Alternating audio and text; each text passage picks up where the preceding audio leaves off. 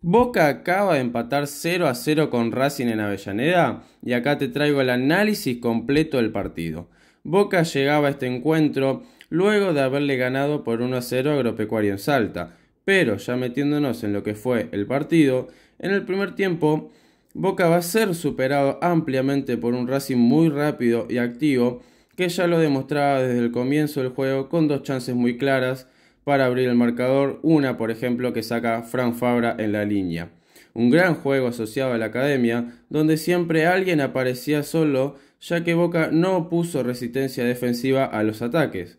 El primer tiempo terminó 0 a 0 solo por las malas definiciones de los delanteros y mediocampistas de Racing, ya que Boca prácticamente no existió en la cancha y el partido pasó todo completamente por el equipo local en este primer tiempo, donde Boca como lo mencioné antes, no existió en la cancha, no participó de ninguna manera del partido.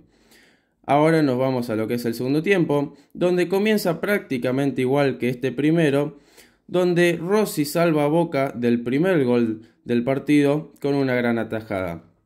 El dominio va a seguir siendo de Racing, aunque no va a generar tantas llegadas claras como en el primer tiempo, por lo cual el partido levemente más parejo comparado con lo que había sido el primer tiempo. Boca va a llegar poco, pero en más cantidad que en el primer tiempo y con más peligro para el arco defendido hoy por Gabriel Arias. Hacia los últimos 20 minutos, Boca va a mostrar una mejora notable, equilibrando el partido y termina superando ampliamente a Racing, donde tiene muchas chances de gol para poner el partido a su favor y así llevarse los tres puntos. Se podría mencionar, por ejemplo, un pelotazo de Fabra que saca en la línea Mura o que Boca fue perjudicado claramente en la última jugada del partido donde luego un centro de Luca Langoni hay una clara mano de Jonathan Gómez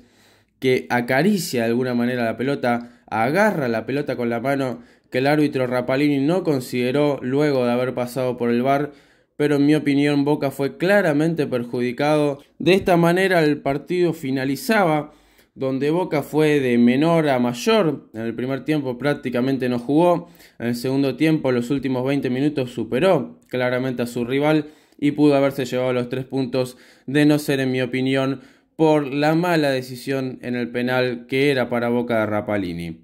En el conjunto de la Ribera se pueden destacar la buena entrada de Cristian Medina, y de Luca Langoni con un gran desequilibrio de la figura hoy de la reserva que tuvo su tiro en el final que saca de buena manera a Gabriel Arias,